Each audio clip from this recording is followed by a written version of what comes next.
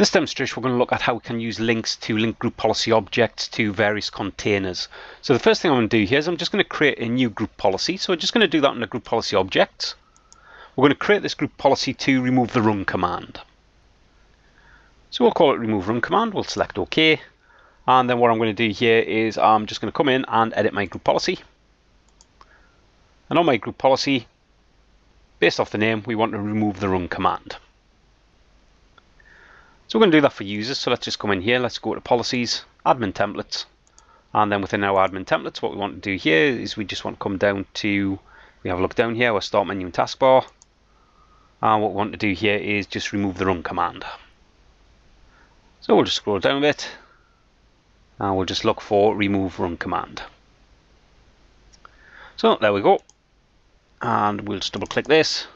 And what we'll do is we'll just enable this and select OK. Now that we've done that, we'll just close down Group Policy Management editor. Uh, what we're going to do here is we're just going to create another quick group policy and this group policy will be created to do not remove the run command.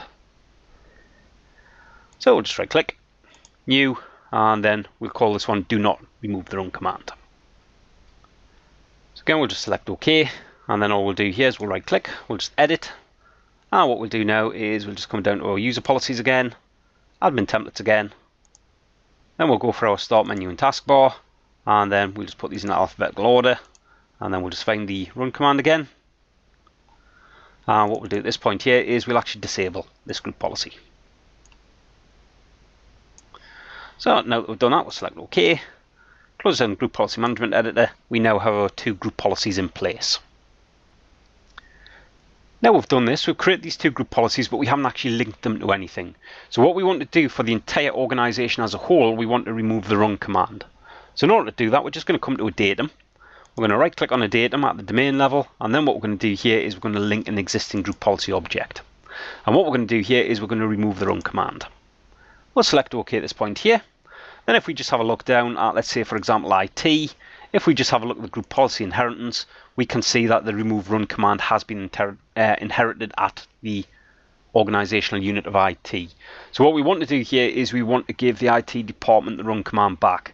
Two different ways we could do that. We could block inheritance, but that would block all of the group policies coming from above, or let's just link in the group policy that we created called do not remove the run command. And we'll select OK at this point here.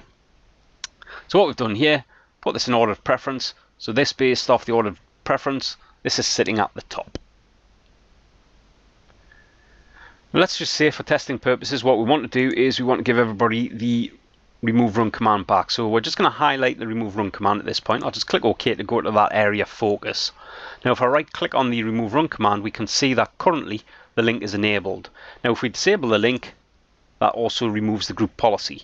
We just come back to IT, what we can see we no longer have the remove run command.